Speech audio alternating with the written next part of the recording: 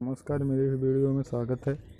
चलिए वीडियो को शुरू करते हैं और आप लोगों को बताते हैं कि एक मोबाइल में दो व्हाट्सएप कैसे चलाएँ।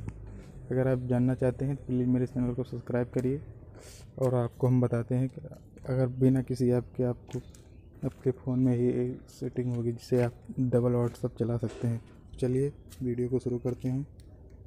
तो आप, अगर आपके फ़ोन में ये सिस्टम होगा तो आप ज़रूर आजकल न्यू फ़ोन में ज़्यादातर होता ही है। तो चलिए सेटिंग में जाना है। सेटिंग में जाने के बाद नीचे आपको जाना है ऐप सेटिंग में। ऐप सेटिंग में जाने के बाद नीचे डबल सेटिंग डबल सेटिंग में जाना है। डबल सेटिंग में जाने के बाद ये ऐप जो आपको डबल करना है, उसे आप सेलेक्ट कर सकते हैं। तो मैंने जैसे पेटीएम को डबल ऐप किया है। चलिए मैं व्हाट्सएप को भी डबल ऐप करके दिखाता हूँ। तो मैं इसे इनेबल कर दूँगा। यहाँ पर आप क्लिक करेंगे तो इनेबल हो जाएगा।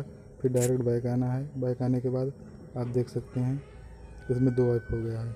तीन वाला मेरा मेन वाला है, ये दूसरा सेकंड वाला है। सेकंड वाले को ओपन करेंगे। इसमें नीचे लिख रहा है डबल ऐप इतना करने के बाद ये ओपन हो जाएगा।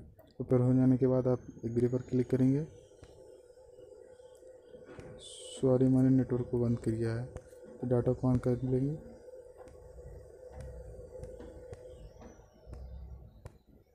डाटा ऑन हो गया है। अब आप इसमें अपना नंबर डाल के इसे वेरीफाई करके आप डबल ऐप चला सकते हैं। अगर आप ये भी जानना चाहते हैं कि एक मोबाइल में बहुत सारा ऐप व्हाट्सएप कैसे चलाएँ, लगभग छः, सात, आठ, दस, कुछ भी कितना भी हो